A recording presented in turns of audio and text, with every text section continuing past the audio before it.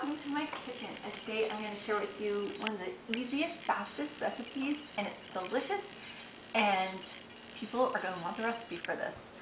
Whenever I'm asked to bring an appetizer or dessert, this is a really good holiday um, suggestion because sometimes like desserts just get too sweet and this has just a little bit of sweet and then the apple or banana with it. Mm, and it's so easy to make. You can make it early in the day.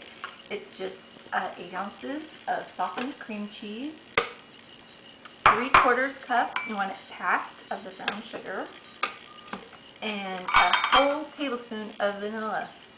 So you know that's going to be good. Okay, we'll see if this cream cheese will go down, get blended in there. Oh, there we go.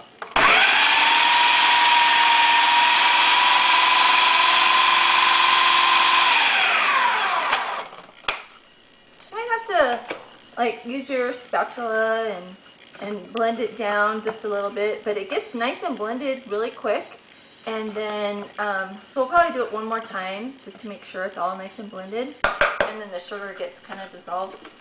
But then what we're going to do after we get it all blended is we're going to divide it in three. And we're going to give you three options for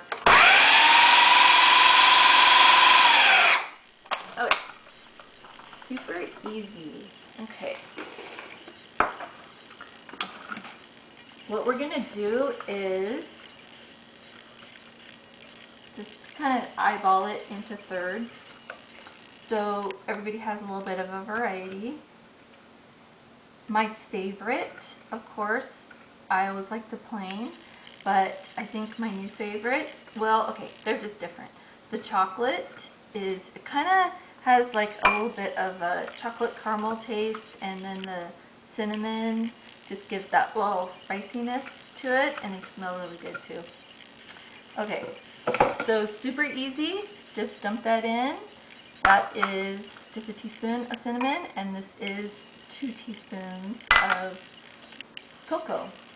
And um, you know what, I'll go ahead and just show you what it looks like already all mixed up. It doesn't take very long, but there you go.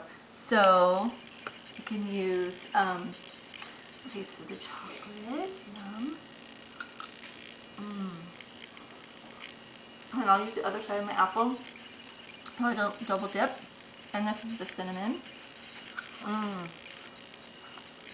Mmm, that's good. Okay, let's try banana with just the plain caramel. And everybody's going to love this. It's just the perfect balance of fruit and something sweet and delicious. Mmm. That's good. Okay. Have fun at your next party. Thank you for joining me.